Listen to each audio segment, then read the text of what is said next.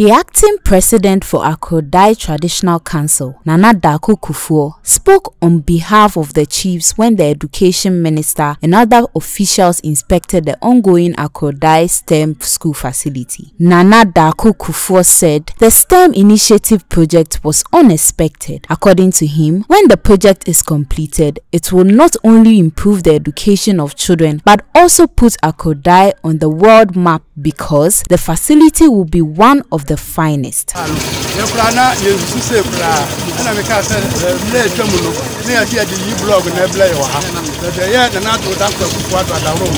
ɛnɛ yɛnyɛ project a ɛsom bo papaapa yie a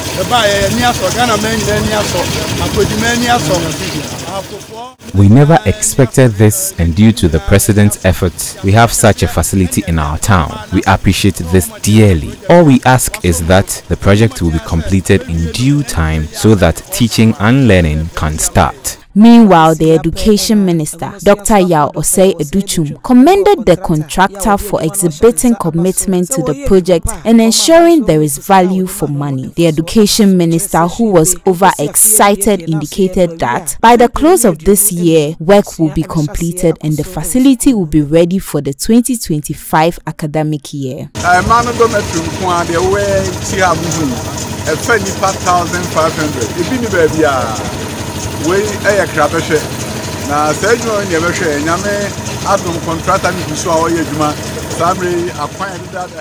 The ladies' dormitory is a 1,500 bed capacity block, and that is exceptional. The contractor is doing his work diligently, and with this attitude, we would be able to launch the facility by 2025. We are happy for this progress, and we want to extend our gratitude to the president of the land.